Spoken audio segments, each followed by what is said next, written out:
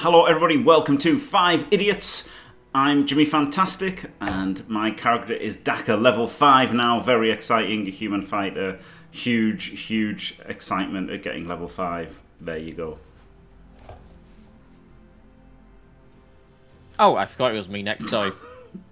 Uh, oh god, I've lost my little hill. Hello everybody, I am Elliot the Gnome, a level 4, 5, god damn it now, uh, Rock Gnome Cleric of the Life Domain. I am Thorgelsnarp, a Goblin King, and a Sorcerer. I always love, I love the Goblin King. I love it. Gotta get it in. About, about the same about the same virtue of monarchy as the King of England right now, right? wow. Dmitriov seems to be uh, busy. Hello, everybody. I'm Dmitriov, level five warrior. Uh, trying to find some money. I'm desperate for money. Anyone in chat want to lend me some gold? I'll take it. All right, uh, gentlemen. So we clear our voices and prepare for stream. So it's been two days since your return to Victa. Took you a day and a half to get back here. We've had several ballads in the meantime, which were quite uh, quite eventful. A lot of fun. Those each of those had their own uh, their own. Oh God, I don't even know how to describe them. Those were just those were just exciting and fun to do. Um, if anybody has not, go ahead and open your character sheets and uh, take a long rest there to rejuvenate everything that you've got. Get all your hit points, get your spell slots back, get your abilities back, all of that good stuff.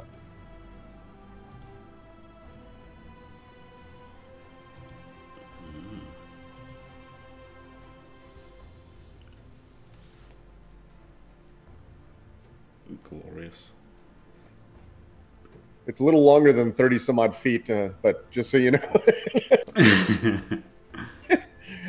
All right, so um, we wake up on the morning of day four.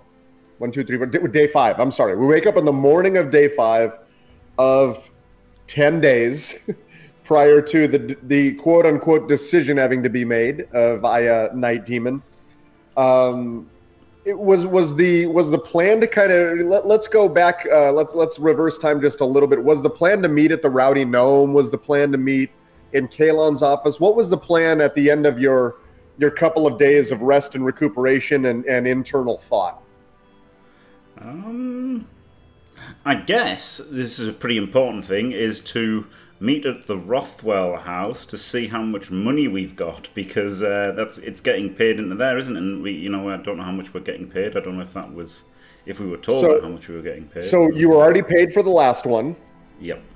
If you remember, there was 50 gold in there, and then each of you deposited, I think, 10 more, which was at 90, and then each of you decided, screw it, we're just going to take it up to 100 total. Hmm. So you've got 100 gold in the Rothwell house. which obviously is your safety deposit box that uh, that Dakka owns, um, or not really owns, but is in possession thereof. Um, beyond that, did we really? I don't think we really decided what you guys found on the bodies specifically. Unfortunately, there was no body of uh, of Molaram to to to uh, to go over. Um, so we'll say that each of you found another ten gold pieces off of each of uh, off of each of the individuals that were uh, were killed therein in various forms of silver, copper, so on and so forth. Glorious. So feel free to add ten gold pieces to everybody. each each of you add ten gold pieces to your sheet. There you go. Yep. Where do I do that? It should be at the very bottom of your sheet. It'll have gold pieces oh, listed. Under inventory. I'm sorry. Under inventory at the yeah, very yeah, bottom. I uh, I wake up late in the uh, morning uh, when it starts raining on top of this uh, on the rooftop of this house. Um, I yesterday I uh, was tricked into. I was just looking uh, at which house that was to make sure it wasn't anything of note. yeah, no, it, it, it's raining, which uh, the the raining is what wakes me up. Um, the drops hitting my face. Uh, yesterday, I ingested a large amount of a vile poison that the humans refer to as beer, um, and I am feeling kind of shit. Where were you? Where were you drinking last night, Dadel? I'm sorry, Uh, Flargle. I mean, it's all a bit hazy. Um, I was at um, several pubs with uh, a couple of friends, and uh, they kept buying me more beer, uh, saying that it was good for me. Um, at the time, I I was having fun, but today I realized that it is definitely a wild poison. Oh my Okay, god. so give me give me a Constitution check real quick. Give me a roll. Uh,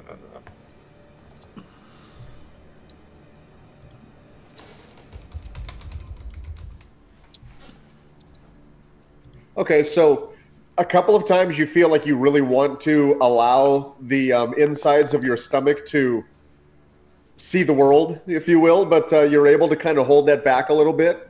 yeah. Um, you're, the, you're, you're, the- the ocean breeze and the raindrops is like uh, definitely uh, keeping me cooler and calm. Um, as, that's as what's you helping me deal with it at the moment. Yeah, as you kind of wake up, as you said, right, you've got the the, the soft the soft smell of of of, of um, that that fresh water smell as it kind of comes in off of the lake there, and um, to your right, you notice a small nest, and in this nest is is a mother mother seagull who's looking at you very very precariously as she has hovered over a, a, a clutch of three eggs and she doesn't seem startled by you more than I don't want to say that you're welcome, but you've obviously been there for quite some time and she's gotten used to you. Flipping seagulls. I look at the seagull and then I sigh and try to go back to sleep. Okay, so so you ro- you roll over, kind of wrap your cloak over your head a little bit, try to protect yourself from the uh, from the sunlight, which is probably the worst part of the hangover. And um, and what are what's the rest of the party kind of doing now this morning? So where are you guys meeting? Rothwell Wi- House. right? We, minus have- uh, minus Flarglesnar because he's going to be late. we should all meet at the Rothwell House, I think, so that we can, you know, bank our money, right? Bank our money, make sure we got paid, make sure we know how much money we've all got. That makes a sensible. That's a seems a sensible place to meet. I think. I agree. All right, so the three of you No, no, Yes, I'm. I've um, been. um, I've been up all night, you know, thinking about you know stuff. So I'm also late. So yeah, so you're contemplating life, as it were. Um, Dimitrov, is Elon with you, or is he with um, with the men at arms? Elon is always with me. Wow. Okay. Mm.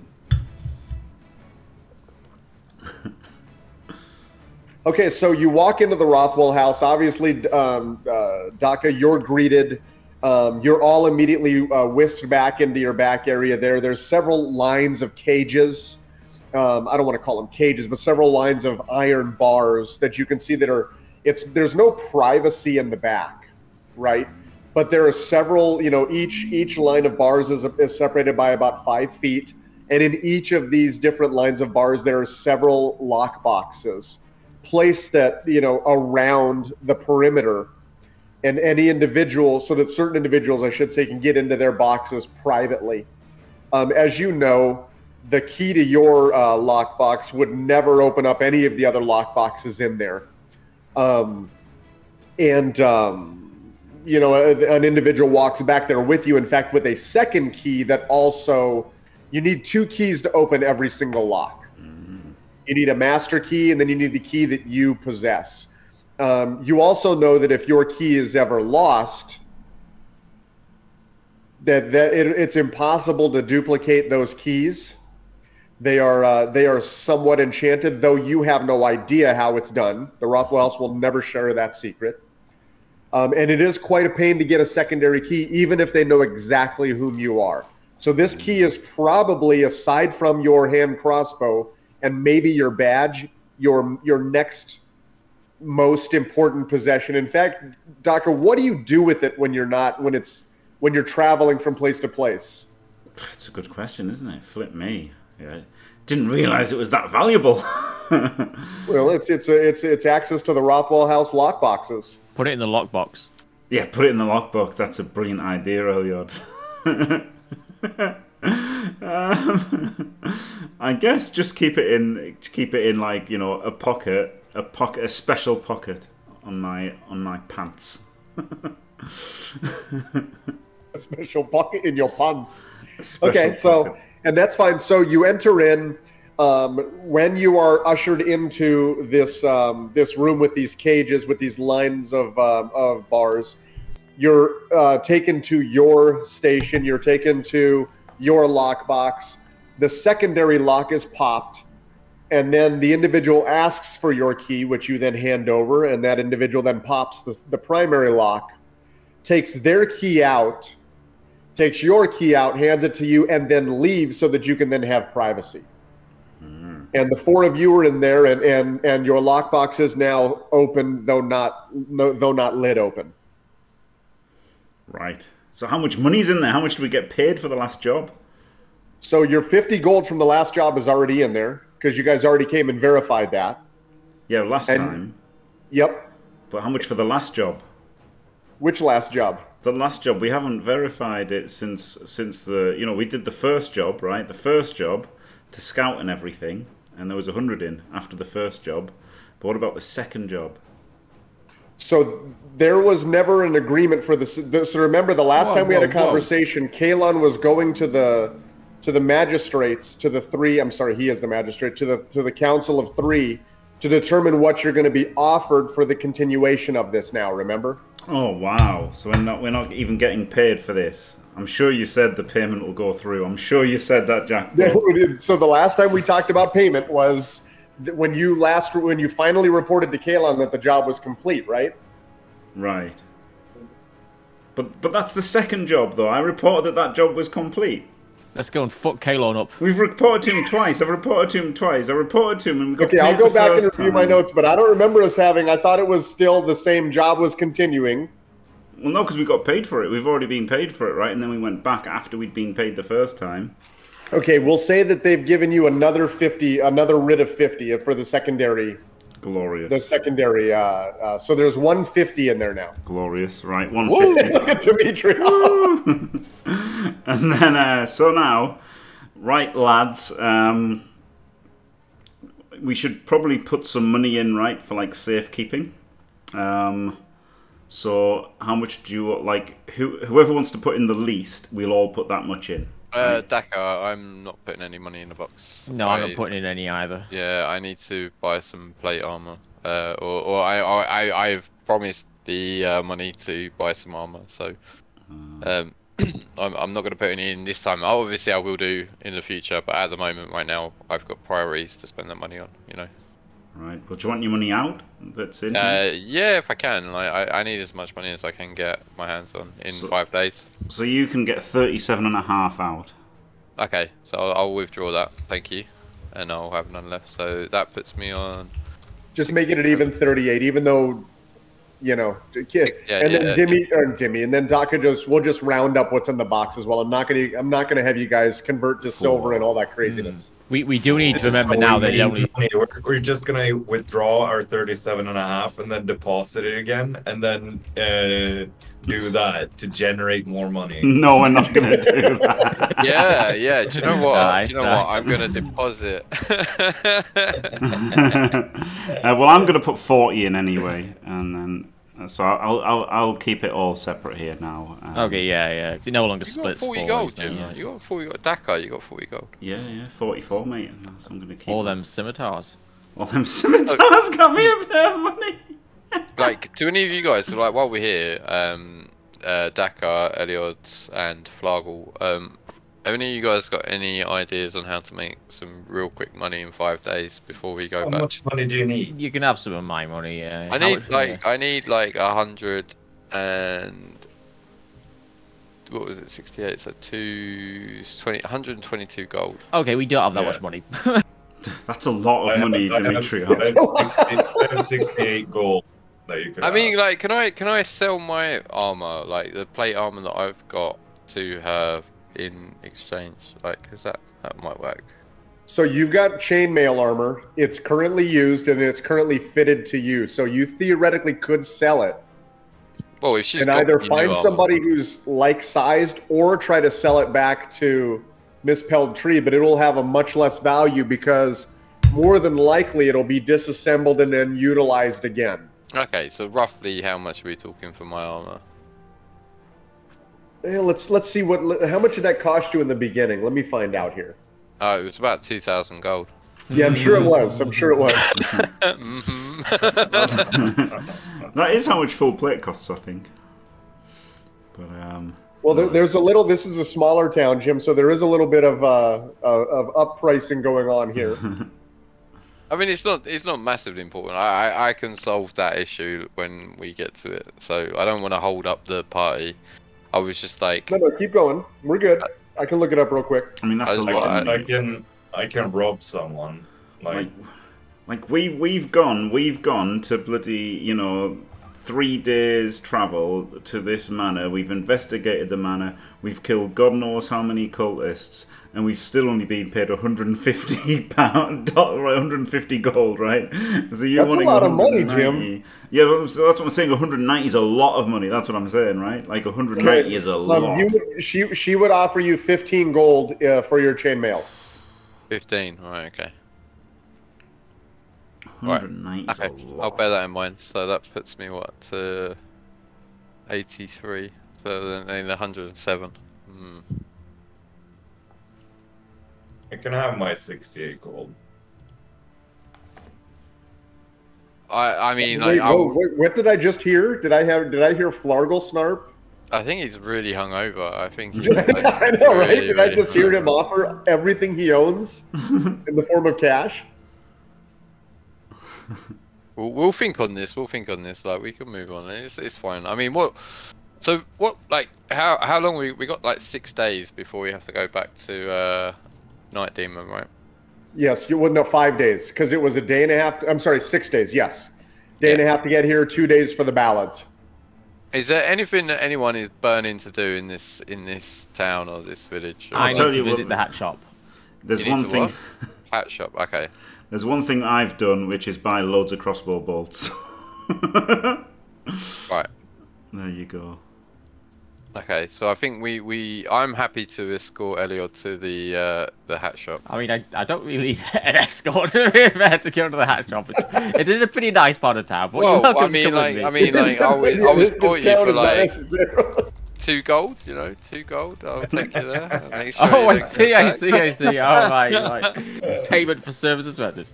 there is there is a there is a silver ring on your finger, Dimitriov, that that could find its way to a pawn shop. Yeah, apparently Well, that got that be- ring is, might is be more important than the armor itself, though. That's the problem. I seem to remember negating like seven million points of damage because of that ring. Well, you say negating, more like transferring. More like. Totally negated. Nearly killing Elliot. So yeah, so so Dimitriov, you so let's go back over that, right? You owe 190 gold, yep. right? And and you're now after two days now your um Hancocks are ready, right? She needed a day for each of them. Yeah. So that the money's not for the Hancocks. It's for the. It's No, no, I know. I'm just saying. So your Hancocks are ready, and then she needed an additional four days, I believe, for the for the armor. Oh, we got time. Yeah. It's not like. yeah. So just keep yeah. that in mind. Um, let's see. Uh, Flargle Snarp, you have you know you have a re- re- uh, going back over yours. You gained some small amount of information from Oriolensis, and you have a, a, a new ring on your finger.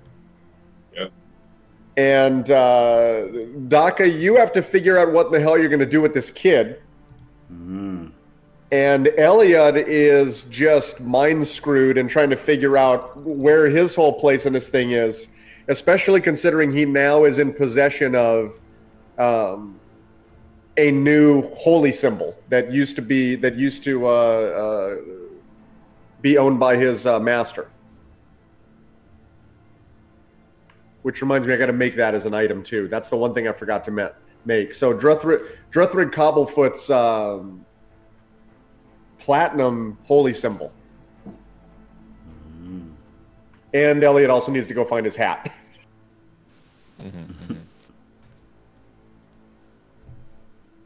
Well, I'm happy to escort Elliot to the hat shop.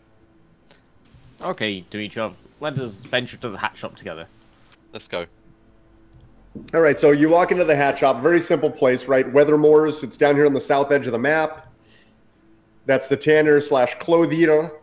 And uh, you walk in, and immediately there's, I mean, just sitting there waiting for you on this beautiful little, uh, uh, we'll say it's like a velvet purple pillow, is this perfectly sized. I mean, you can you look at the hat and you can tell this thing is going to fit perfectly on your on your on your beautifully domed skull, right?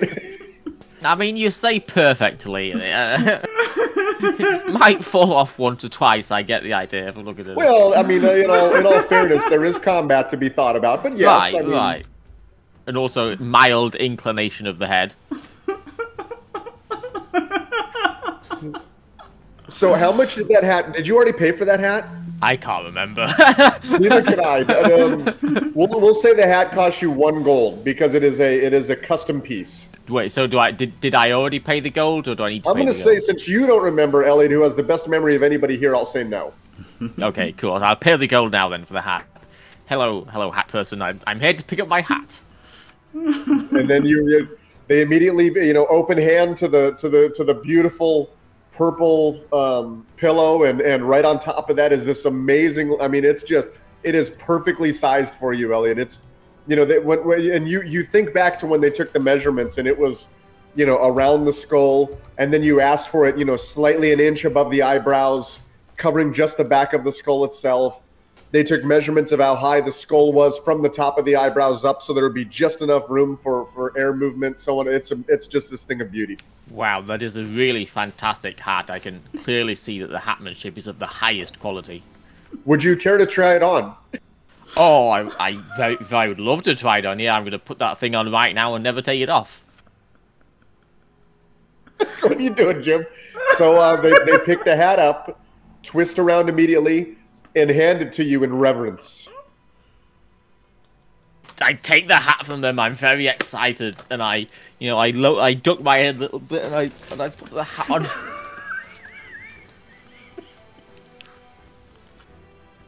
It fits very well. it's a perfect hat. Ideal for a gnome. You'll notice he had to dig his camera back in order to fit it. oh my god.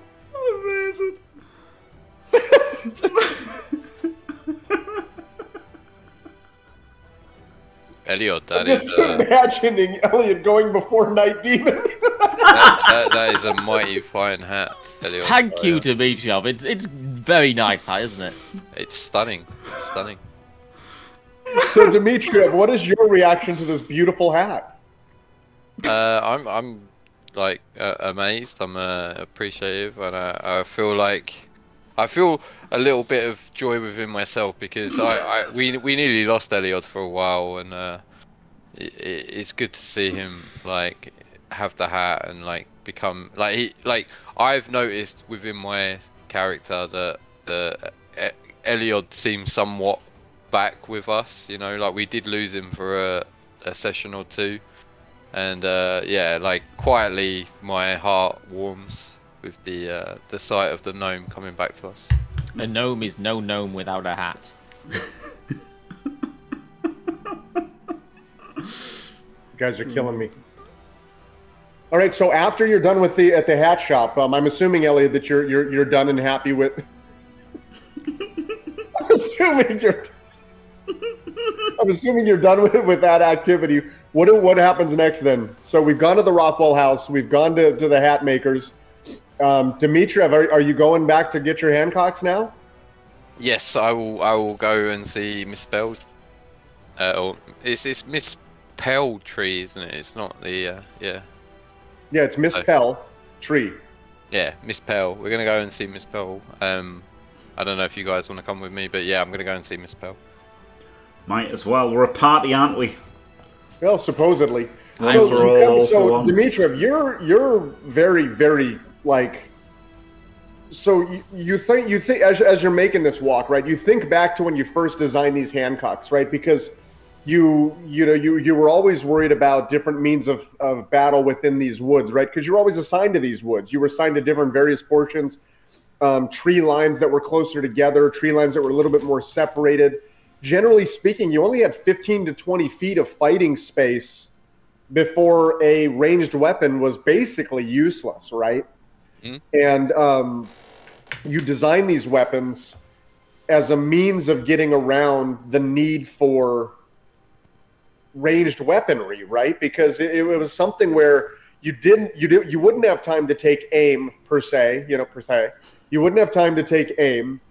Um, you didn't want to have uh, knocking of arrows, pulling of crossbows. It had to be a quick released weapon, right?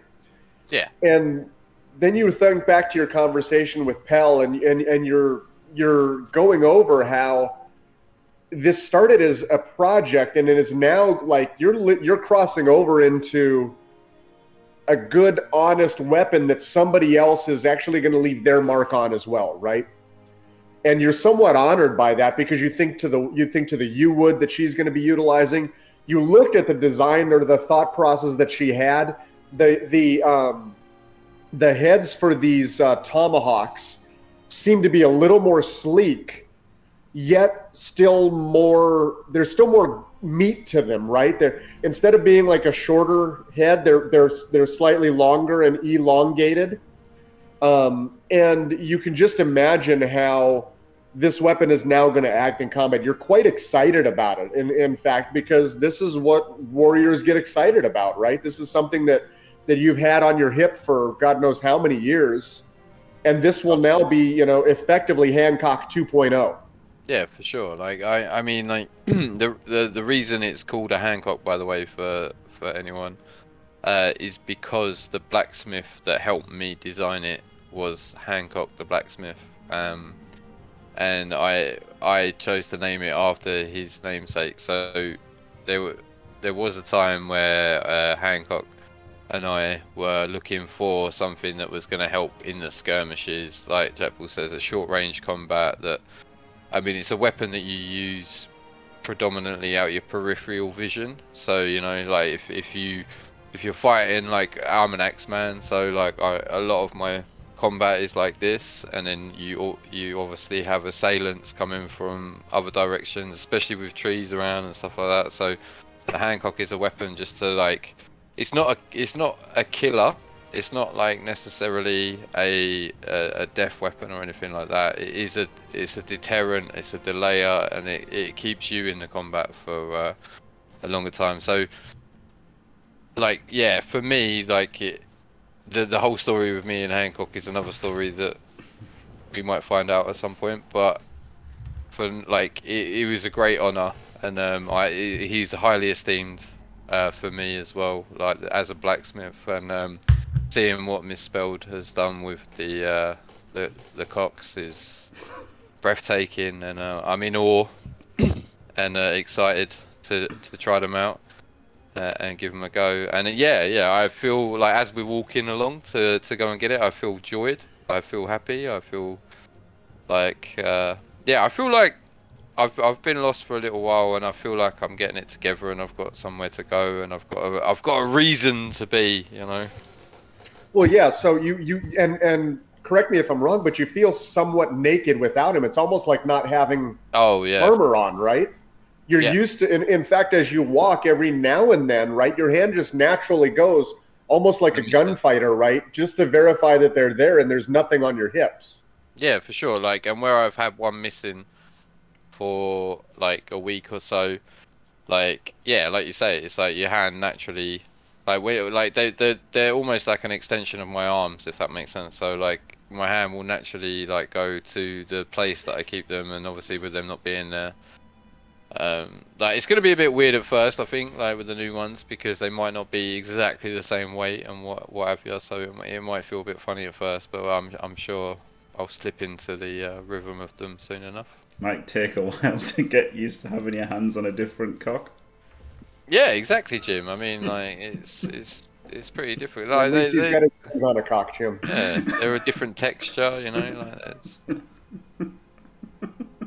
All right, so so you so um, Elliot, you are walking with with Dmitriev here, right? He's come with you to pick up your hat. And, Yeah, I go with him to the blacksmith. Yeah. and Elin is with you as well, and you. It's it's interesting, right? It's like you know, when um, with um, you kind of he's got this look of a gnomish child, right? Right before Nismus, and he's got this look of um, of uh, like Jimmy's got to turn off his mic so he can't hear him laughing, and it's it's just it's like he's he's getting a new gift, right?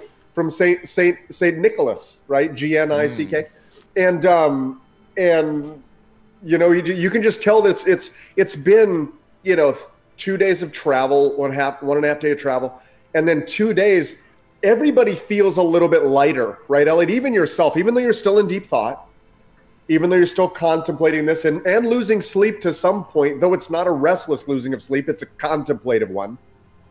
The whole party feels a little bit lighter, right?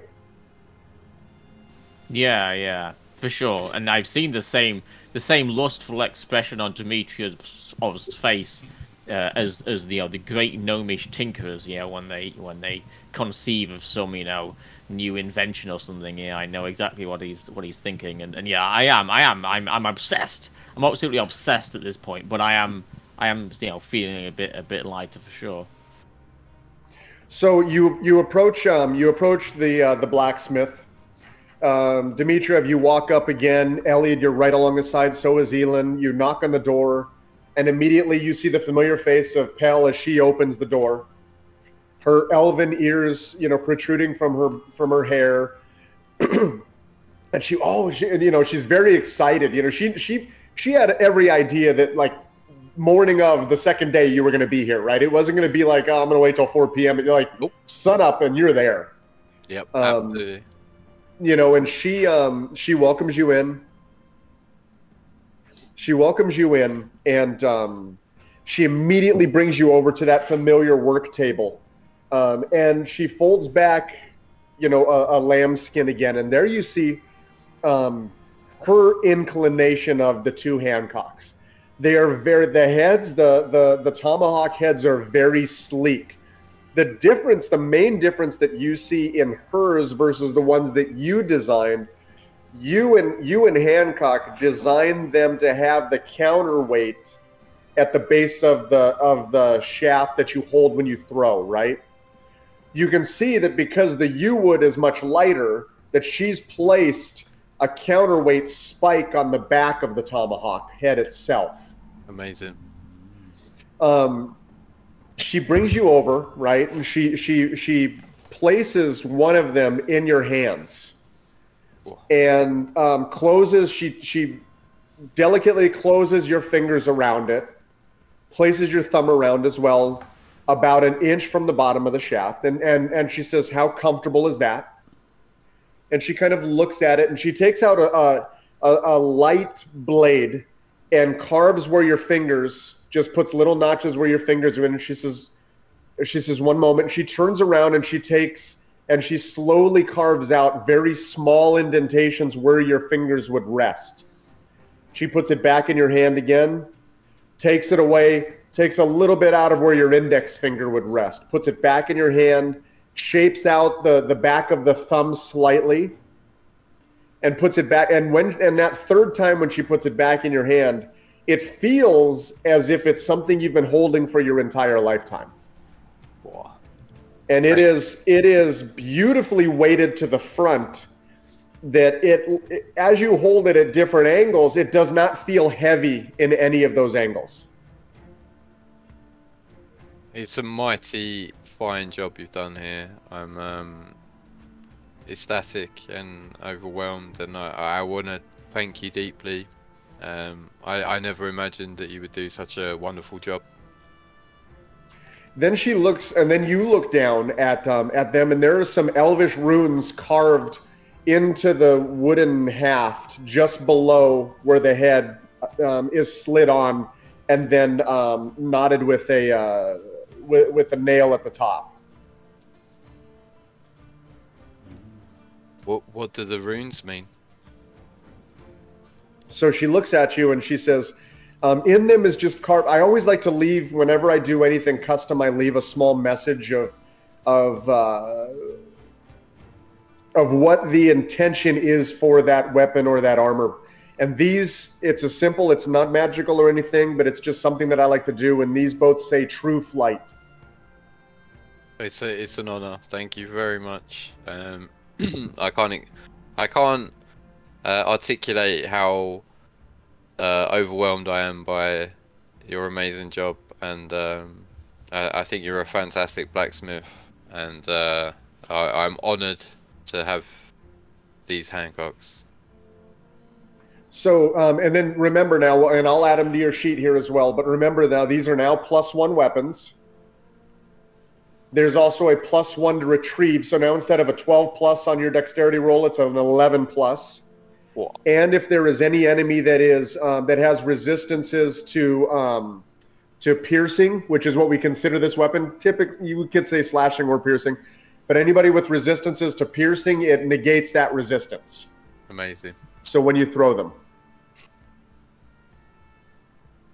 So um, she delicately ties the um, the the leather cords to them, and then hands them to you. And and again, just thanks you pro- profusely for allowing her to now create these, and then hopefully make some money off of those herself. Oh, the honor is mine. Um, if if you don't mind, I'm just gonna take these for a spin. So uh, I, I'm gonna head out into her back range, and uh, and I'm gonna throw some cocks all over the place, and uh, I'm, I'm gonna feel them through my fingers, and uh, I'm gonna give the. I just want to get used to them for a little bit before we hit combat, you know. So I wanna. I'm gonna spend like a good like half hour, like maybe 45 minutes, just like tossing them, um, giving them a good like flick through the wrist, and uh, you know, I'm gonna. Dakka. I, I really want to feel the weight of these weapons, and like, I need to get like, because honestly, these are lifesavers, right? These are lifesavers, so I need to. Well, yeah, uh, and they're then they're and what they are. I mean, they are just that. They're phenomenally balanced. They're beautiful. I mean, it's you know, but they also have that look of like they're going to take a beating, right? Like this is you you you get the feeling that that the way the way that they've been. I'm sorry, Jim.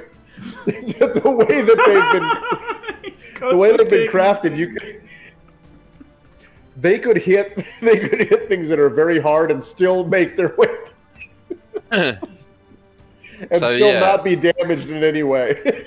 So after going out the back and half hour of tossing, I uh, I went back in and uh, and I, I bow to the tree and I just say these are the finest cocks I've ever seen. like honestly, I'm overwhelmed and um, thank you so much. Um, and I will see you soon for my armor as well.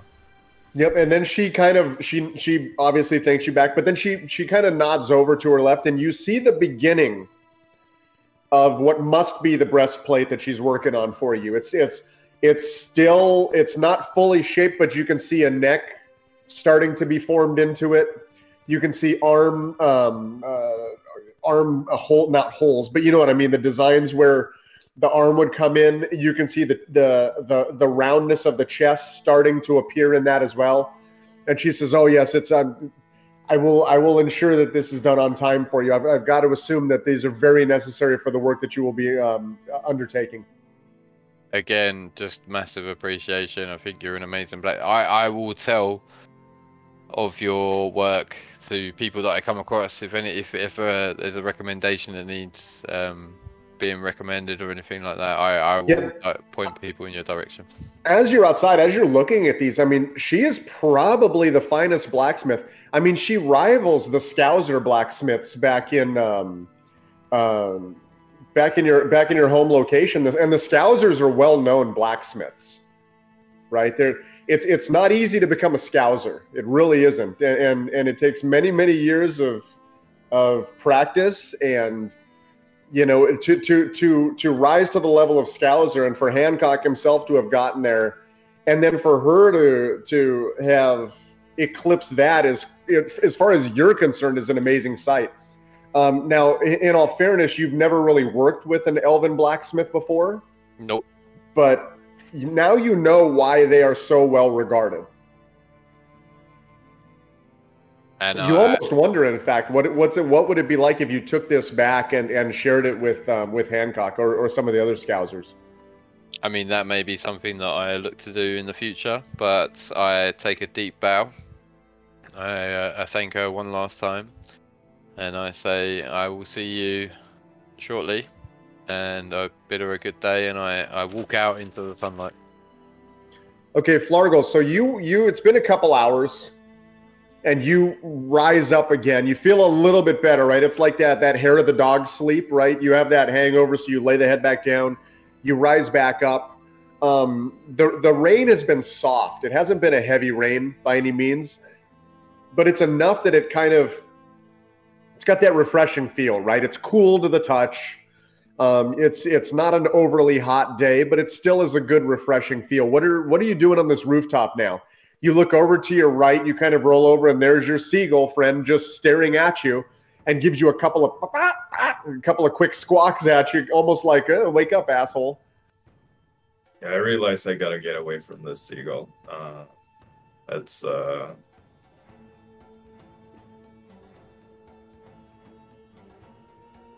it's killing me. The noise. Uh, so, so I uh, don't know what I'm doing. I need food.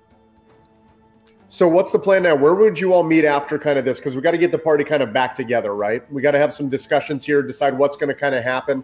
Because we got a we've got a five day plus or minus um, determination on what the hell is going to go on. Um, Dakka, you know you will eventually have to go back and talk to Kalon to see what the what the uh, what the Council of Three has decided Mm. Um, in regards to what it is that you've reported.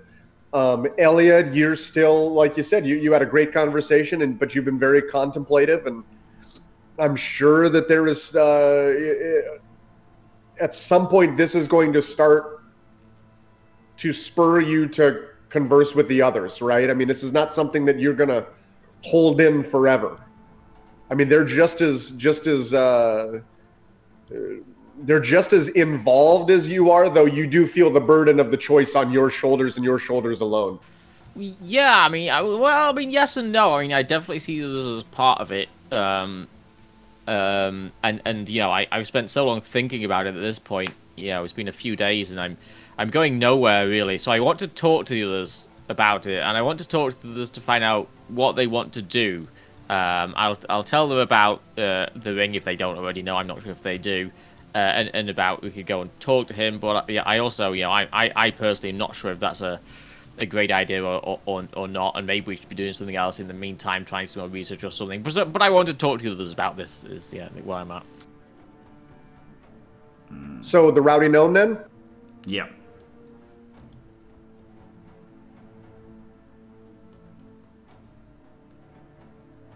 Cool. Um, out character, Yes. is there any way to banish? so wait, what? Is there any way to like banish old gods? Like not fight them, but just oh, like, banish old gods. Okay, so because there is a spell called banish.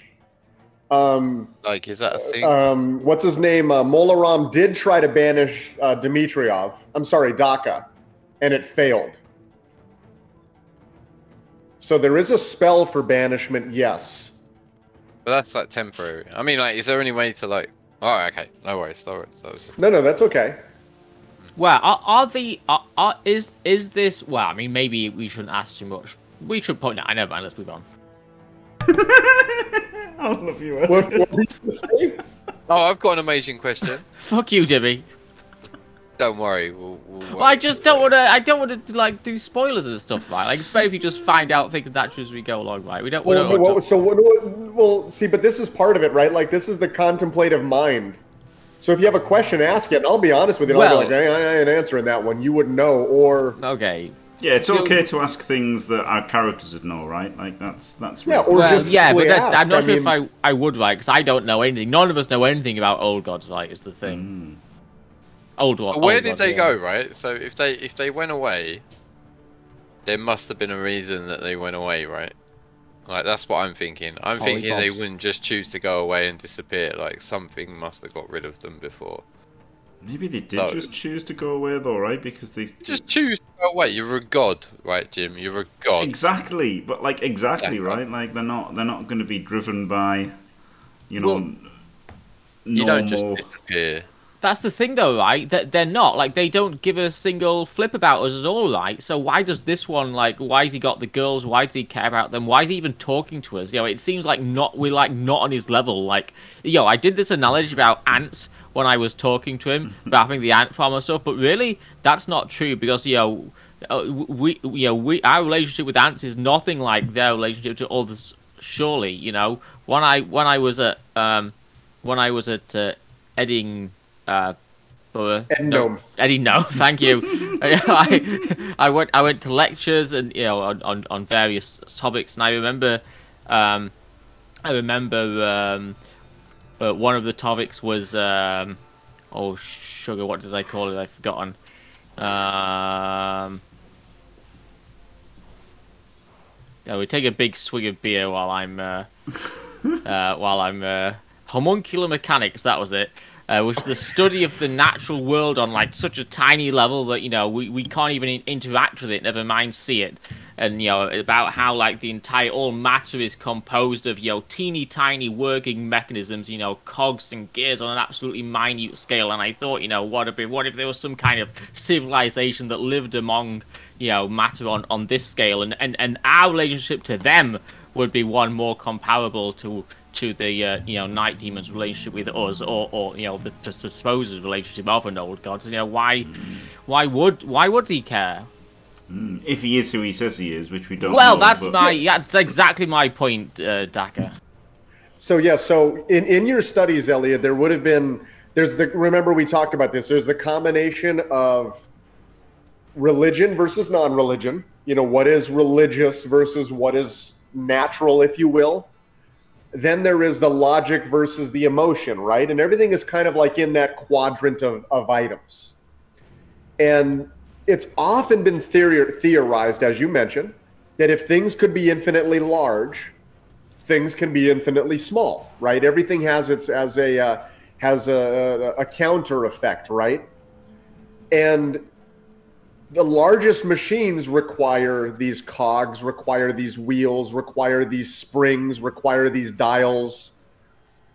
So conversely, the smallest machines must as well. And, and, the body is a machine of types, right? You, you you know this from your anatomy classes that there are different parts to to in some uh, individuals the hearts may be larger than others, the stomachs may be larger or only able to consume certain things, but nonetheless it is a machine of a kind. So therefore, even the smallest of ants, or or you theorize things that you may not even be able to see, currently would of course be comprised of these same types of quote unquote machines. Absolutely. Yeah, yeah, absolutely, and and like I say, our our ability to interact with them, our ability to even care about them to some extent, it's a, it's a different, you know, it's just a completely different scale of being. You know, surely mm. this old god would be have the same uh, regard for us. You know, why does he have these three girls in his possession? And why does he care? Why does he care to make a deal with us?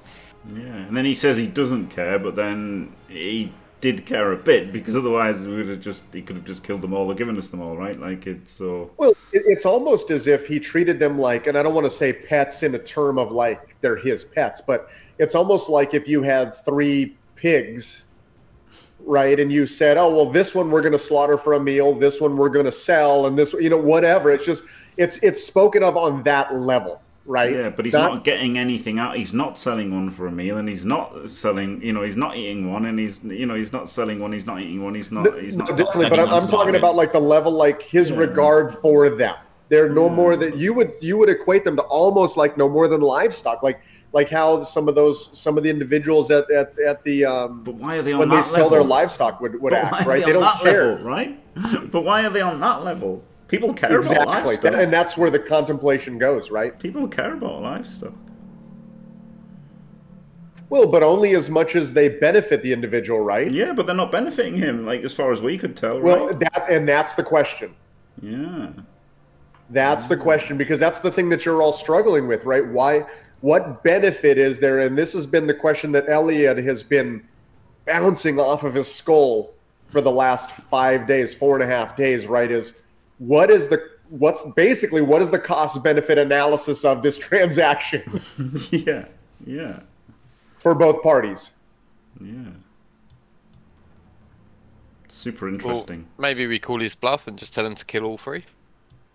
I mean, I already kind of did, right? Like, I said, I don't, you know, we don't care, you don't care. Either let them all go or kill them all. Do whatever, you know. Flargle Snarp, do you have any input in this conversation at all? I already No, have I've. I've, I've ordered a burger and fries and a milkshake. I need that now. They do do What- very good milkshakes at the What flavour? What flavour? Uh, strawberry. Mm, So uh, yeah, so um, I'm not. spread before you then, obviously Namfoodle, who is well known. Doc, I don't think you've met Namfoodle yet, have you? Nope. Because Dimitrov would have brought the manservants in. Um, Dadel has squirreled his way in here before. Dadel knows. Dadel's got a remarkable um, knowledge of the town, right? Just from his time here, he's been in probably ninety percent of the buildings and is working out how the hell to get in the other ten percent, right? but Dakka, you've never been in here before, have you? nope. Okay, so this is this is the Rowdy Gnome. This is a very very well known gnomish establishment. This is Eliad's haunt, right? And you know that um, that the hospitality of the gnomish peoples within their inns is legendary. Right? If you were invited into, it's very strange. There's almost like I, I don't want to. You wonder how they make a profit because Mm. even though you pay for your food, the umpteen array of food before you is just ridiculous, right? What what you may pay for a silver at another restaurant would get you ten times the food here. Mm. The only thing that is paid for at the correct costs are the gnomish liquors and alcohols.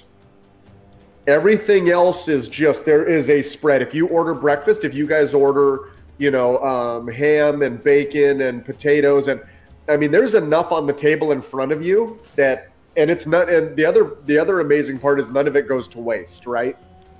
Um, but uh, the spread before you was more than enough to feed each of you, probably three times over, including the large humans.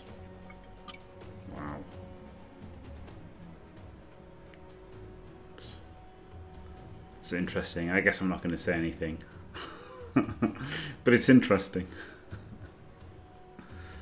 Super interesting. Is I'm showing like- that he's. I'm showing he's unharmed on my screen. Yeah, yeah. I, I did. I did cheat and look at this. I did look at the. Uh, I did look at the thing. Yeah, it's so weird. No, isn't no, that's that fine. It says barely injured on mine. Yeah, it's so just. I think that's probably your screen catching up, Jim, or something just a little funny. Mm. I mean, when we load a new one, it'll probably come through. Um, So uh, I address the party and I just say, guys, we've come so far. Um, and tried so hard. But in the end, in the it end- really just didn't matter. it never. Never does. I tried to lose it all. Um, but I mean, like we have come so far. We've got six days. Six days. I really need some money. I really need some money. So, uh, can uh, can we? No, well, I mean, like, well, what are we gonna do with these six days, right? I've got my Hancocks. I'm ready to go. Like, I'm ready to go and do something.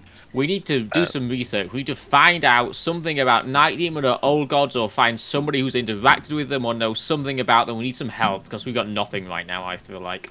I feel like we've got nothing, and I feel like we're just sitting here. Um, Well, I did say to to Kalon the Turd, I did say that you know, like he mentioned them being uh, citizens of Victa, so that you know they were kind of owed a duty of care by the by the council, as it were. So I, I did ask him to you know confer with them to see if they had any uh, you know input into the matter. So maybe we could speak to Kalon and see if he's got any feedback. Okay, idea, that isn't sounds it? like a good starting point. All right, so the the, fi- the five of you. So you're heading to Kalon's, right? We could do. Okay. So the five of you um, move down the road. We'll just leave the map here. The five of you uh, move down the road. Um, you return to the seat of government. You know, you walk inside. Again, there's the very familiar face of of, of, of Kalon's men at arms. He knows Dakka very well. Um, Dakka leads everybody in. There's a rap on the door from the outside. Kalon opens the door from the inside, and and and and Bays, you all come in. Um, I don't believe Kalon's met Elon yet. He gives Elon a little bit of a side eye, um, but immediately sees on his chest that Elon is still wearing the crest of um, of of the Tillich family, and immediately puts two and two together that this is um, probably either Dmitriev's or Dakka's man now. Um, he assumes he's not going to attach himself to the other two. He never asks, but um, but Elon is wearing that very proudly. He still bears the the the colors of blue and gold. He still bears the Tillich family symbol, um, and and you can see that it's it's a very very proud thing for him. It's almost as if over the last couple of days he's resigned himself to carry on what Faps and Finches were doing as far as care for the family. Dakka, Yep. go and ask him.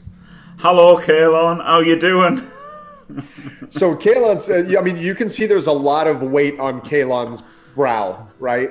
He is, um, there's something, it's not really bothering him, but he's, he's a little, he's received information or there are situations that have him in deep thought now. And he, and he invites you all to sit down in his office and he says, well, we've gone before the council with the information that you brought, Dakka, and, and it was indeed determined that these are that the the the Tillich daughters, whom you believe are the Tillich daughters, would in fact be of the purview of Victa. They are considered citizens of Victa. They were born in and around our area. They did not travel south from Full Point.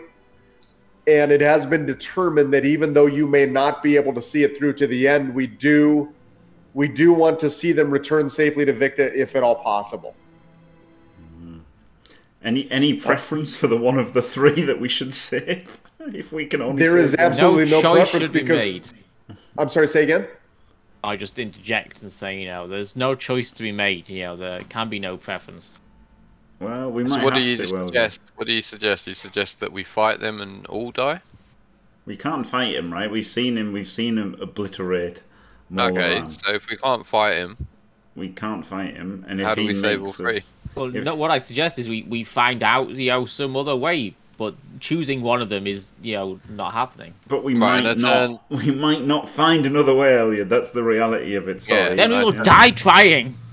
Well, I'm not going to Mm, I die. don't know for about that. I- I'm not going to uh, die. yeah. If the choice is if two of them dying or me dying and Dimitriov dying and Flargle Snarp dying and Elliot dying, it's it's it's two of those three. I'm afraid. yeah, I kind of agree with Dakka.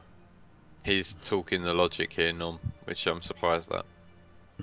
So, Elliot, are you um, are you a little worried internally that the emotional side of you is really starting to come out again?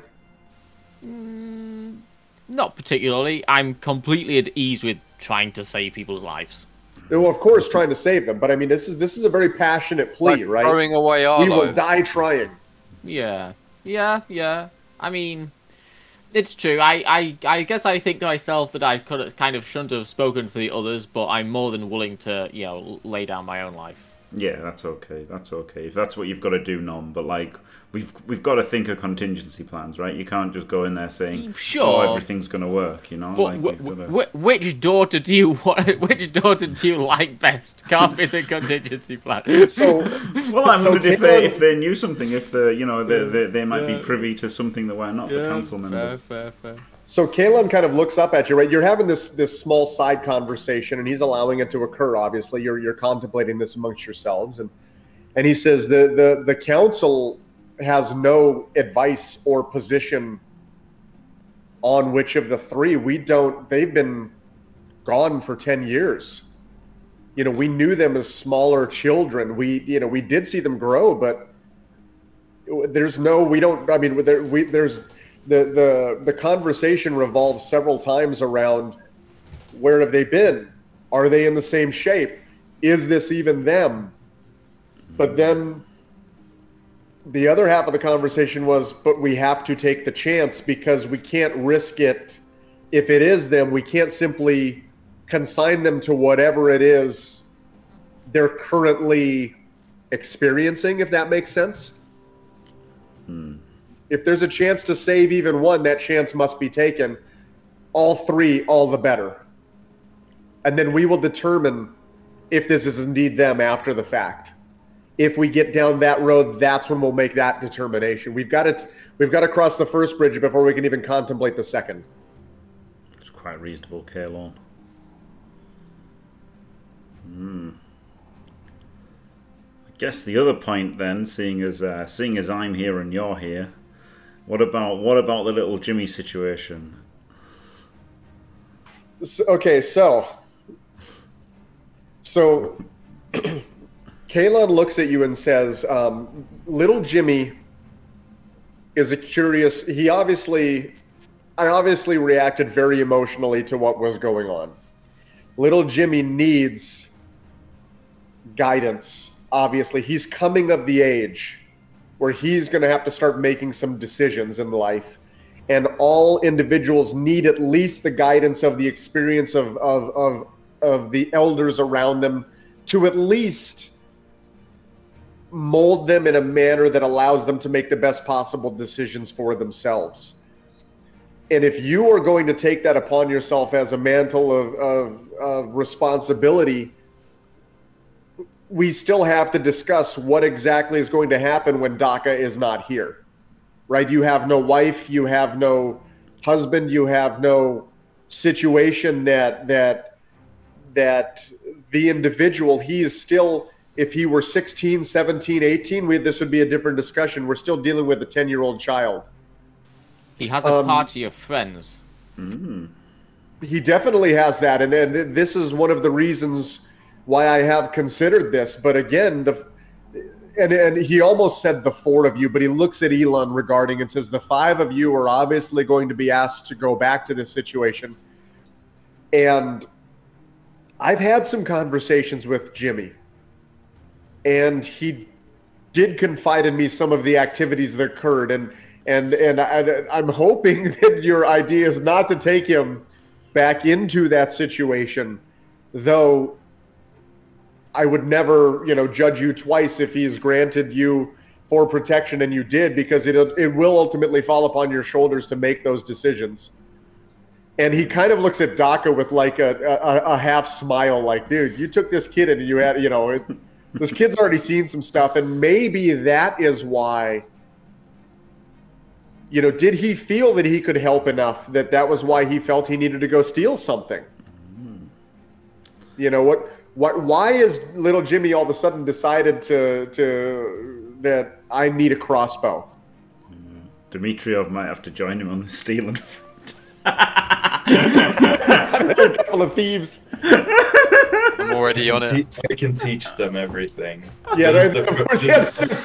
Then- actually, that's a good point. So the minute that Kalon says that, right? The minute that Kalon says, you know, why did he feel the need to steal? Flargle just goes, "That's life." He doesn't say that, but that's, you know, you Flargle, you're just like, dude, smart kid, man. I like this guy. That's, He's that's the fir- that's the first word I've heard this entire uh, uh, time. Um, I've been so hungover that I haven't actually heard anything or registered anything that's happened around me um, until Kalon questions stealing. Then my mind started suddenly starts working just a tiny bit again. I'm like, dude.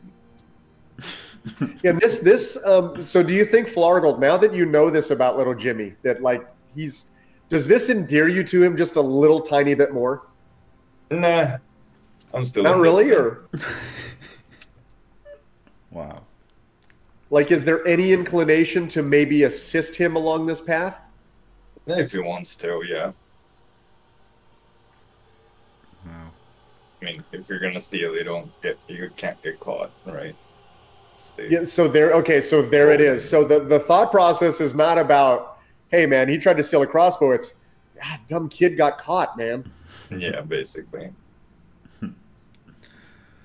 So Kalon looks back at Dakka and says, "Y- "You're just gonna. You're, I mean, where where would he be housed? You're gonna have to think about these things." I mean, I've got, Okay. I've got a, I've got a, I've got a house in in in Victa, so you can stay there. It'll all be fine. You know, okay, I might not be there hundred percent of the time, but who is? You know, like it's, I think it's quite reasonable.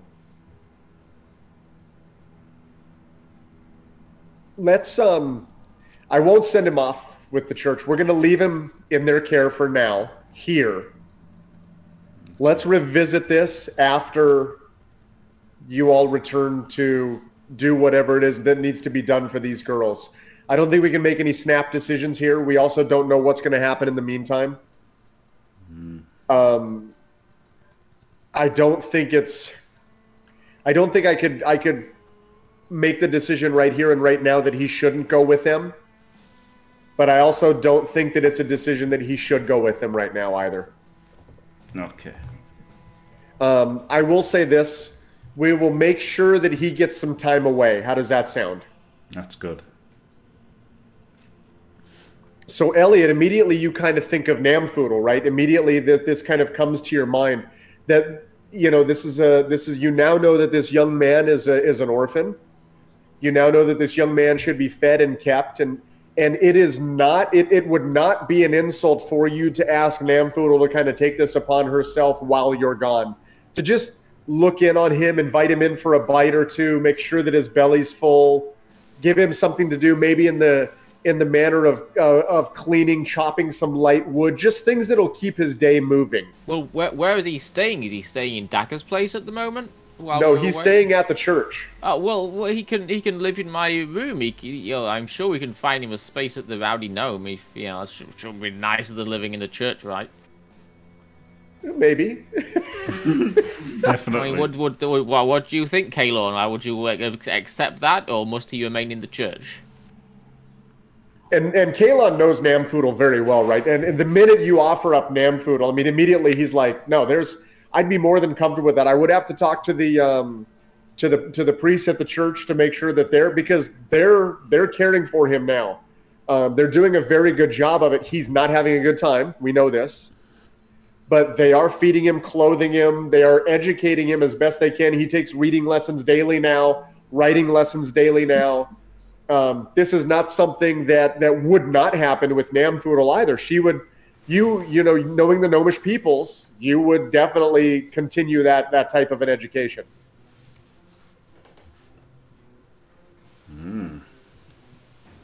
that sounds. The boy perfect needs a mother, doesn't a priest. yeah.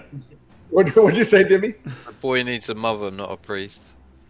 Well, the boy needs something, right? Because he's growing up and and he's what we don't want to see is we don't want him, you know, he's not consigning himself to a life of crime, but everybody's like, dude, what's next, right? If we keep letting this boy live on the streets, he's got to become a man eventually. That type of thing, you know, that that moniker. Yeah, Dakka, you need to talk to him at some point and straighten him out. But Elliot, yeah, you would have to have a conversation with Namfoodle to kind of solidify this, definitely. But um, but Kalon would be very open to something like that. Well, let, let, let's do it then. I'll go back and talk to Namfoodle. I mean, I'm sure she'll be agreeable. He's you know less trouble to look after than I am, probably. Um, Easily. Doc, is there anything else that, that you have for Kalon at all? And then at this point, I open up my cloak and say, "Want some scimitars?" So he looks at you with a, with a smirk on his face, and he says, "How many people did you guys kill?" a few, All of them. All of them. So um, he's going to turn the down the, the use of those scimitars. He's already got twelve to fifteen. He points to the barrel, right? He's like, "We're good now, Dakka. I would suggest that you sell those off, and I would suggest that that that you." Be a little bit more discerning in what it is that you bring back from your adventures.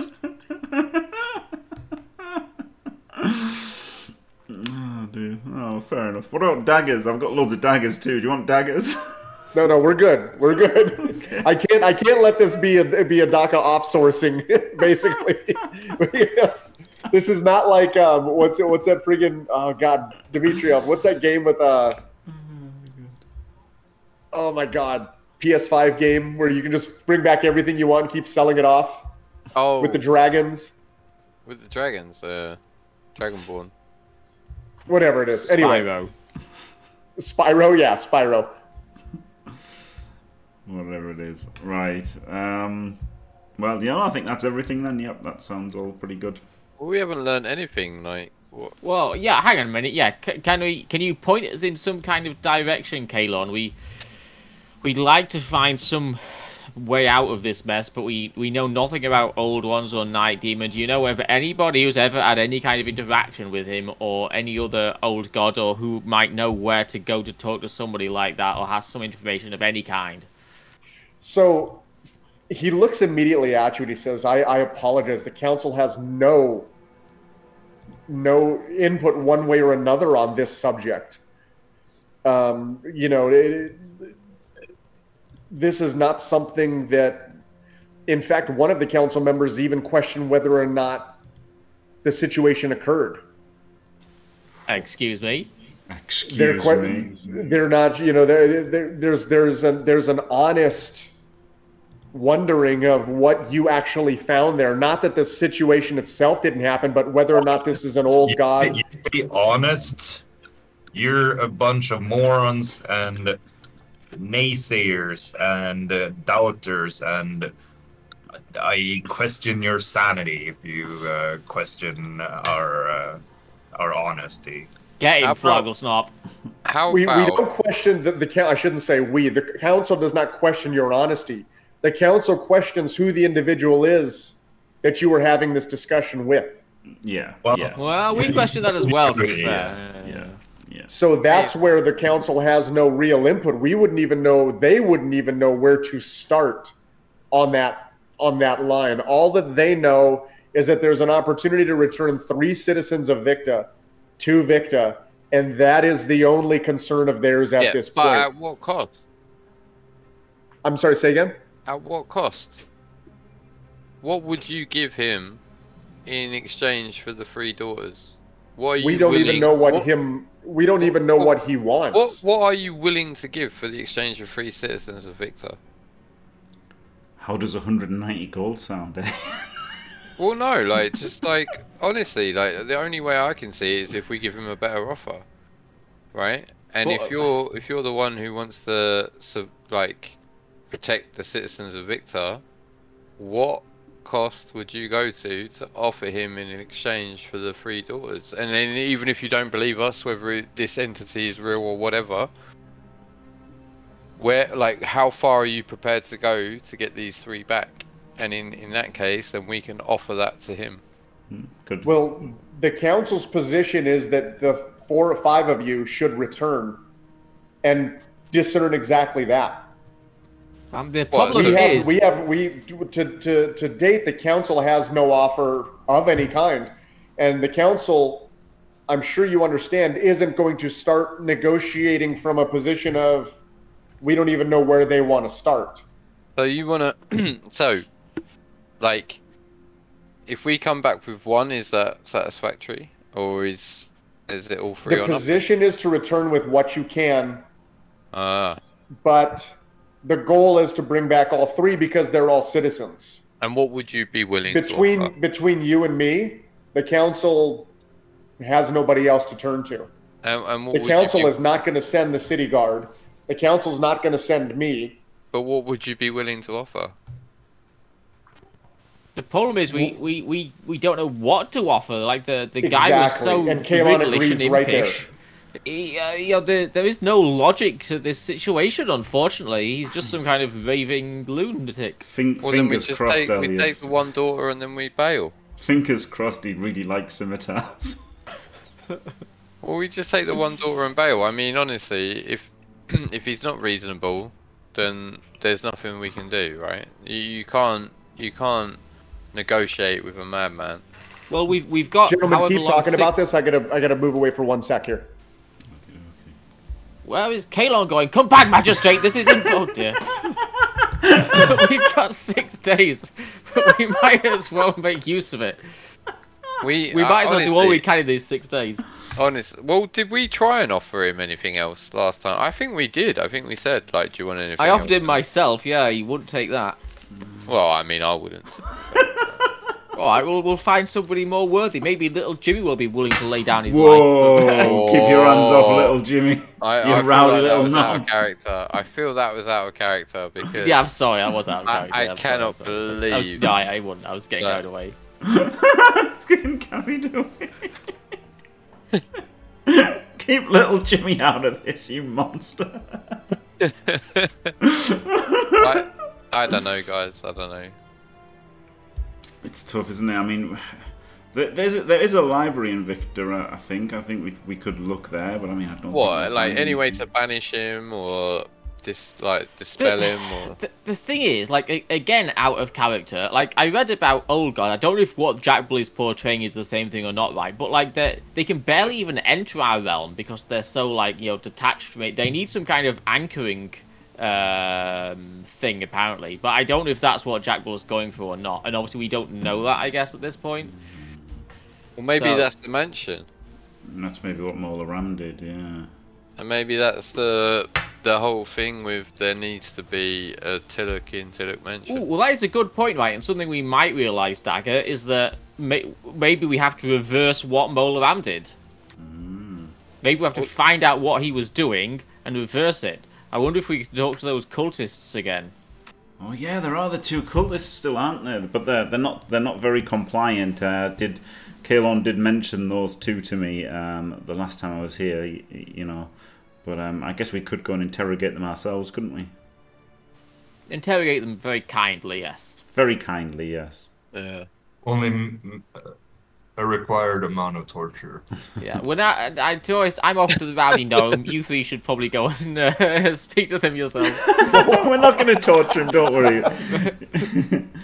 don't so worry. so Kalon so during this conversation, right, Kalon just reiterates the position of the council, right? Which, you know, please remember that this initially started with a simple double check of, of a manor, right? And this has escalated very fast. Mm. Whose know, fault it- is that?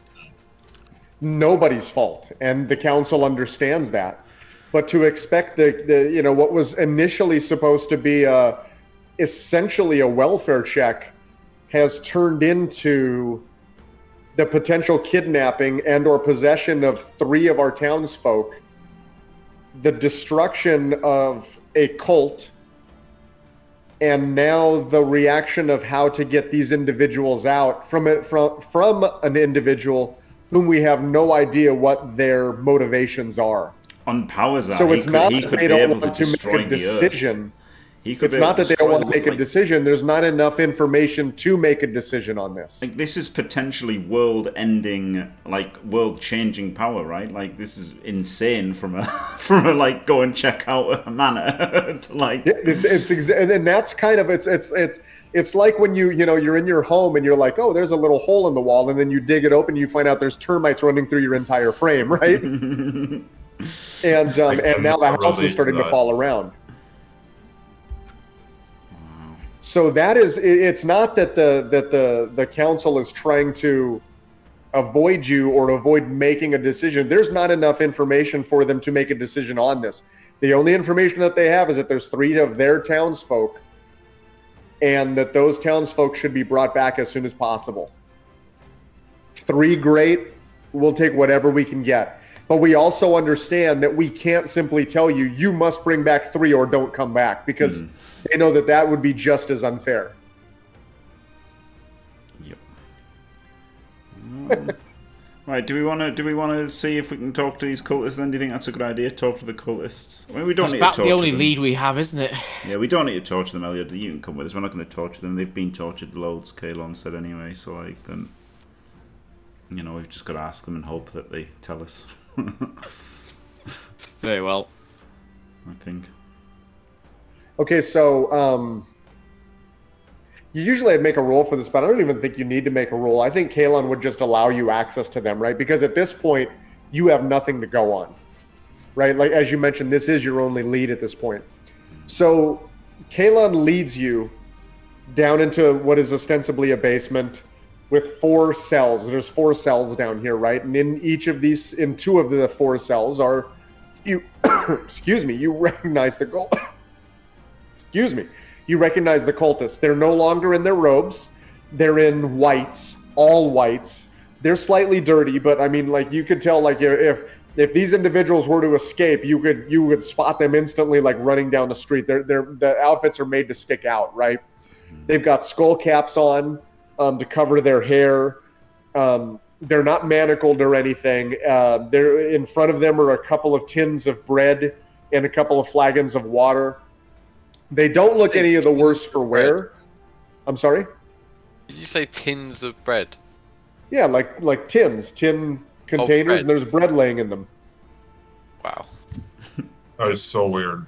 He's a we, man. we, we don't even need to torture him, guys. Like, they're obviously, like, how how do you even make toast? How do you what? Like, honestly, if you've got tin of bread, like, you you've suffered enough. Like, What do you just think he's gonna feed him? Man Foodle's Well, food? Like, like, who puts bread in a tin? Yeah, that's super weird. They've got to have something to hold it in. Jesus Christ, Amy. Okay, there's two wooden plates with bread on top of it. Does that sound better? Oh, Yeah. Okay, now that we've solved that problem, It's my Back immersion, man. It's my immersion. I, I just can't handle tins of bread, mate. I'm sorry. Right, It's weird. Yeah. okay, so so we haven't yet discovered aluminum, so we'll go with. I mean, even if you had, why would you put bread in it? Why would you spell it wrong and pronounce it wrong? But anyway, Too. so anyway, so um, and there again, you you recognize the two cultists. There's the one who's he's still. I mean, I don't want to call him possessed, but he's very. You can see in his eyes, man. He's fanatical, right? And then there's the other one who's like he looks like the little brother who was brought along for the robbery. right. Well, let's talk to him. Let's So talk to the the- less fanatical one. Okay. Right, and uh, we just got to say to him, like, look, uh, you know, we know, like, you were in the cult and that, it's fine, right? It's done now, right? Mola Ram summoned the Night Demon. I don't know if he mentioned the Night Demon The you. minute that you say that, the other cultist, the one who's like Stelia, like rises to his feet instantly and takes hold of the bars and just brings his face right up to the bars and is instantly like, right? And it's, it's not like scared. It's it's just instantly at attention. Alright, well, the Night Demon wasn't particularly impressed with Mola Ram and exploded him into a red mist. he just instantly killed him. And, uh, And then and then he says from behind you in a song, and not not like, like a hard whisper, like, "You were in his presence." uh, I think it's probably best to ignore him. And and you know keep him. You know, as soon as you've got a bit of keenness, right? Keep him keep him a bit keen, and just keep talking to the the weaker one, and then say, uh, so you know you might have wanted to summon this guy, but you know I don't think he wanted to be summoned, and uh, and now you know he is very powerful, and he's just out for himself. So if there's any way that we can like, but you know if you know how he was summoned, and if there's if you know any way we could unsummon him, do you know anything anything that could help us? So what's your? Uh, uh, are you saying it kind of like that? Is this like just a ca- ca- casual conversation? Very casual, being very yeah. casual, so very calm. give me um, give me a uh, what is it? Give me a persuasion roll, please. Persuasion. Oh, Oh, by the way, everybody, if you don't have it already, take um, inspiration for each of the ballads. Those ballads were excellent. oh, glorious! Thanks. All right, so a 15. So he looks up at you. This is the one that's kind of broken, right? That's the one you're talking about? Yeah, Okay. So he doesn't rise up. He's still kind of sitting in a corner. You can just kind of see that he's. I hate to say it because we know what the cultists were doing, so we don't want to like let him off easy, right? But if there was ever a victim of circumstance, this guy's playing that role. right? Yeah, the wrong guy in the wrong time at the wrong location, and that's kind of the way he's he seems. But you your mind goes back to chopping up of humans, chopping up of horses, throwing stuff at these worms. This guy was attacking you. It's not like he was, you know, um, screaming, "Oh, they've, you know, they've got me, and and they're forcing me to do this against my will," right? Mm. And he's he's sitting in, on the ground. His arms are around the fronts of his knees, and he never like looks up or makes eye contact with you. And he goes, and he just says, "He did it. He was he he actually did it." Yeah, he did. He did. And like, so you may have thought that that's what you wanted, and he may have thought that's what he wanted, but he didn't get anything out of it. and you have you two haven't got anything out of it.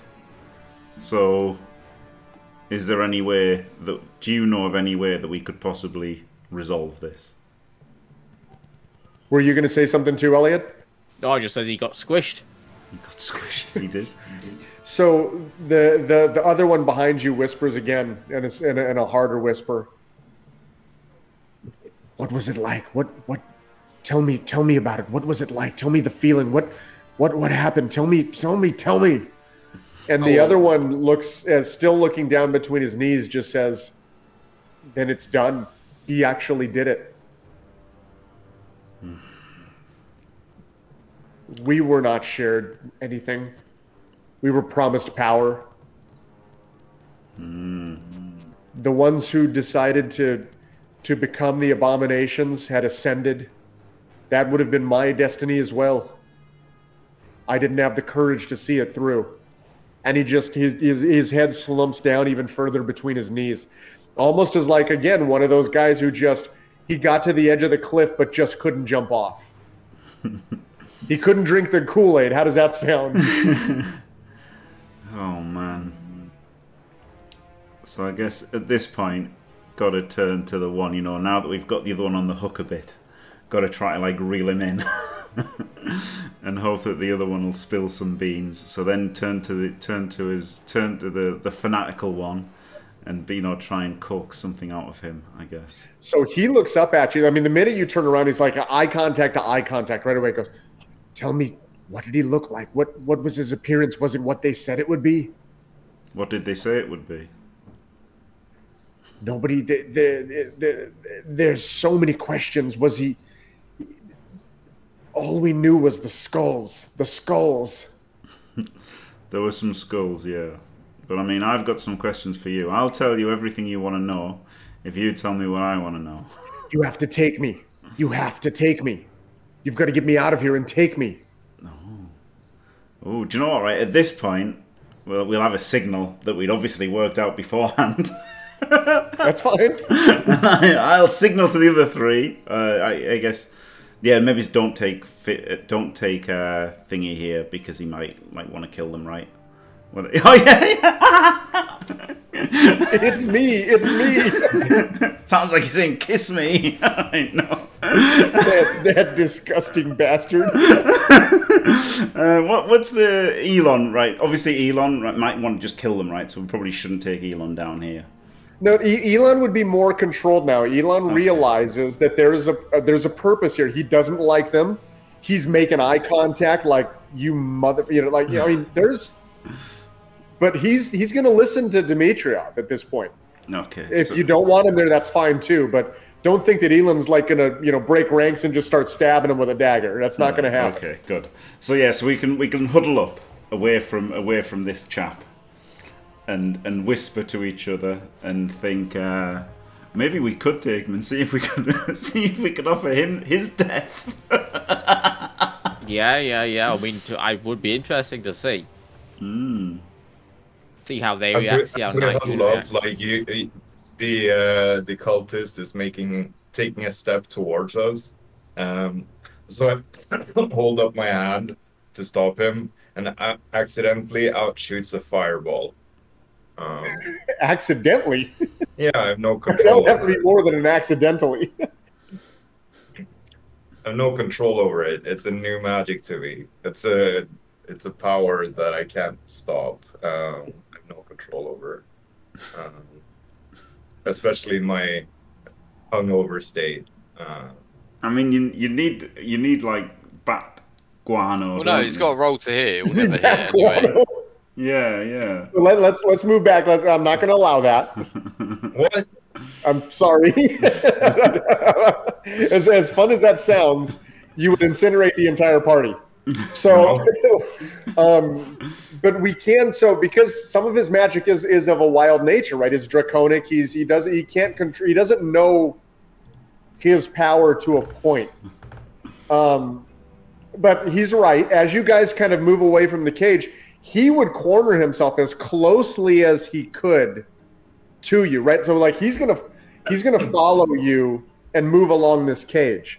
Um, I'm trying to think what I would allow in this situation because I don't not like it for for purposes of role play. I just don't think a fireball would be the first thing that would shoot out of this goblin's hand. Considering this isn't now that I've reached level five, it manifests somehow, and this is the way. Well, yeah, but this is but again as as this about is a this is a spell. This isn't a power, so there are, you know, there are components to this spell. Exactly that I need when I learn to control it. So, like I said, I, I, if if you want to do something a, a, a little less party destroying, No, we can it's we can definitely talk about that. I also don't think Kalon would appreciate if the entire place fell down, and then you guys had to talk your way through that. That's the best part. so, what does the huddle consist of? Just like just as going in the corner so that we could, you know, talk without him hearing, basically. Just just talk about the whether we whether you know whether we should take him, whether we should take him with us to the uh, to see Night Demon. I, pre- yeah, I think that's okay. I think we could do. I I- don't hate the plan. Yeah, I'm I'm in agreement, Dakka. Hmm. Okay, good. Good. At least we all agree. I, I think Dimitrov agrees. He usually agrees when he's got a I don't know. when he's I got a don't know. In his hand? I think we should uh, go to a library and learn about the old gods. To be fair, like I do like the sound of that a lot. That's what I want to do. Hmm. I feel Yeah, like we know yeah. nothing about the old gods, so we should try and learn what we can. I want to go to the gnomish library in whatever town is there. Steelbury. Yeah. So, Yeah, but how far away is Steelbury? yeah, there, there's there's a travel aspect to that, definitely. How Yeah. far away is it? So, Elliot, you would estimate about four days travel one direction. Oh, okay, so it's not. That it's is definitely what I want to do.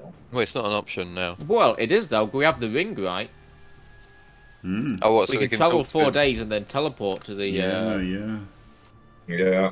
I like the sound of that a lot. Um, so here we go. Right. So here's the thing. So we've got we've we've got to. Res- I I I- I'm down for this as well. But we've got to resolve it with this fella right while we're here. First of all. Um. So we can go back to him after after the huddling up. We can go back to him and say, Well, we can just take them. yeah, maybe we will take you. Uh, maybe we. oh, So when you say that, right, like this this this disgusting smile appears on his on his face, right? Like this Mm, this wretched, just it's a cultist smile, right? It's like it's a it's fanatical. Oh, actually, nature. rewind, rewind, rewind a little bit. so, the seeing as smile goes away backwards. like, like like Blood Bowl 2 with the cracked screen and the reroll thing. Yeah, there you go. well, So, um, so here's the thing. So, if our plan is to go to Steel, we're gonna have to take him with us, right? Because we're, he's gonna have to be with us to be Yeah. teleported. Yeah. So, we need to ask Kalon right now if we can assume control of the prisoner and take him with us, please. So is that what you're doing? Yes, Kalon deterred. Okay.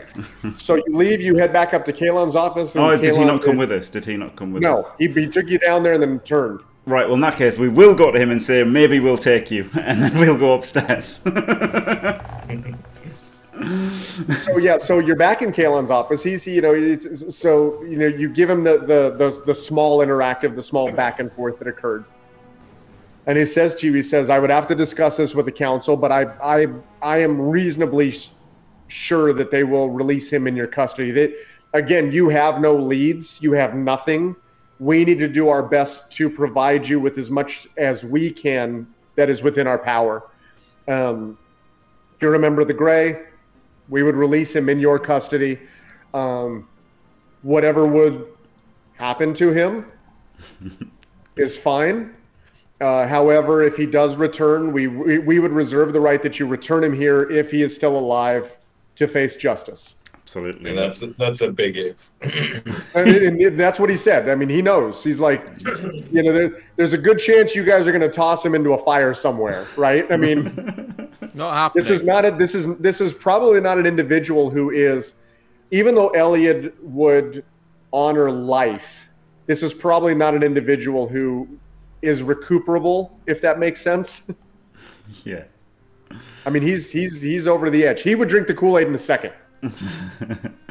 He'd be the purveyor of the Kool Aid. Yeah, he probably carries the Kool Aid around. Yeah. right. Well, it's about we're about half an hour and a half in. Do do you want to have a little break? That's what I was about to say. So, um, where would you go after this? Would you head back to um, to the Rowdy Gnome? Is that where our next to kind of contemplate what the hell's going on? Well, I if we're going to travel, then time is of the essence, right? Yeah. Yeah, we, need, to, start traveling now. Yeah, we need to either make travel preparations. How long would it take to uh, Kalon to ask the, to get word from the council He could have it back to you by this afternoon. this afternoon? So we could make travel. He'd have to travel because there's no formal council today. So, as he's allowed to, he would travel to each of their manors, discuss it with them separately, figure out what the plan is, and then and then get it done. So So, like could- he says, it's it's it's pretty. He just has to get approval. Is is what it is. It's Right. So whatever travel preparations we would have to make, because like we want to we want to set off as soon as possible, right? So we'll just make whatever travel preparations are required, I guess. I want to travel on a kangaroo. this is not in Australia. Okay, so um, so yeah, so let's take our first break. We'll come back. We'll rally up back at the um, back at the Rowdy Gnome where we can pick up provisions, all of that good stuff. You know, get all of that stuff done. Then uh, ostensibly you would meet back at Kalon's, and then you're out, right? You want to, you're you're on your way. Uh, time is of the essence, type deal. Glorious. Right. All right, let's take a break, gentlemen. Thank you. Yep. Thanks everyone. Thanks for watching. Don't forget to leave a like and subscribe, and stay fantastic.